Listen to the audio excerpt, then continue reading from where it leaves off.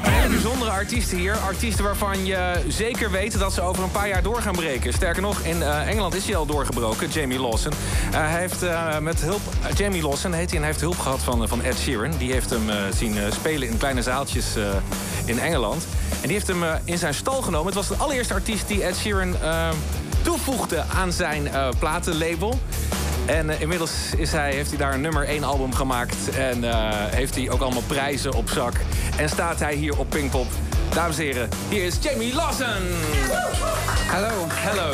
I was just talking about your career. I'm doing very fine. What did you thanks. say? Well, I was talking about, of course, Ed Sheeran, yeah. and uh, well, the time that uh, when he when he, he picked.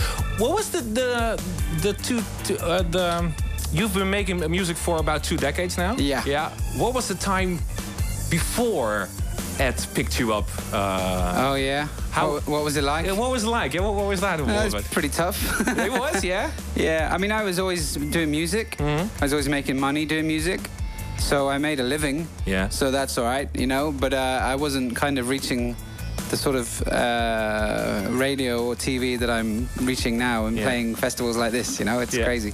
Okay, so it's totally different, but but it's it's also was it was it was it also nice in some sort of way that it wasn't very big that it was just No.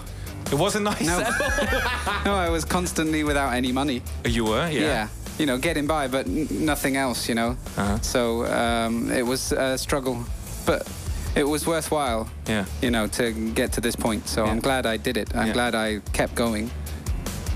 Why did he fall for your music? You think, Ed Sheeran? Um, I don't really know the answer to that. I mean, you'd have to ask him. Um, what do you think? Well, he he kind of said he really liked someone for. Uh, sorry, he, he really like wasn't expecting that. That was a song that moved him a lot, and he said he didn't usually get moved by songs. Like emotionally, he like that made him cry, and it, that never happens. He said in, in songs. So. Um, I think that maybe uh, caught his attention, and then I had all these other songs, and he like, well, they're very good too. So, Yeah. you know, um, he kind of said uh, one of the reasons he picked me was that he wouldn't have to do any work, that I could just carry on doing what I do, and Uh, that's it. and yeah. and you know Yeah. that would be it. So Yeah. that's good. Okay, good. Are you are you going to do that song or uh, or uh, What song? What, uh, what song are you going to? Oh, we're gonna do. I have a new single out called "Someone for Everyone," so we'll do that. Okay. Yeah. Good. Okay.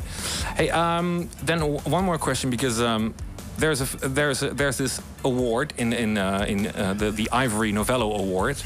Dat, Ja. dat is een soort van ja, dat is echt als je singer-songwriter bent, is dat het summum. Het is niet zo'n hele grote award, maar in het wereldje is het wel dan als je die wint.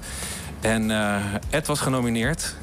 Maar eh, ook deze man, Jamie, en Jamie is ermee vandoor gegaan. You won him. You won the award. And I not- won. Yeah, did, yeah. Was he angry with you? No, No? no, I don't think so. Anyway, Okay. uh, he has won one before, Yeah. so he ha- he already has one. So he was quite happy to let me have one. I think. Yeah. Good.